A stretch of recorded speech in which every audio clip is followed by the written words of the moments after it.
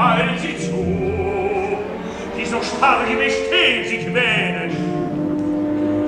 Was schäm ich mich, mit ihnen zu schaffen, so erleckenden Ruhe mich wieder zu wandern, für die lockende Lust, sie aufzuziehen und die einzige Zehn, dass ich den blinden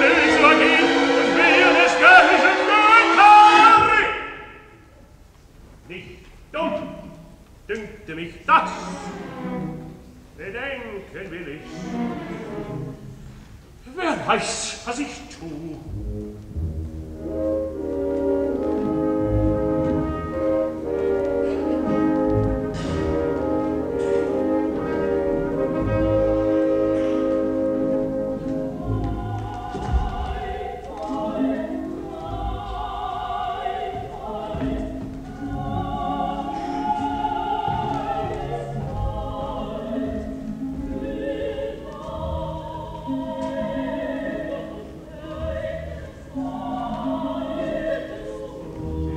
klagen,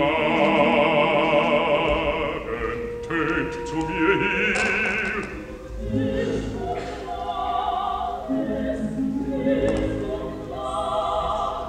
Nicht so klagen, nicht so klagen,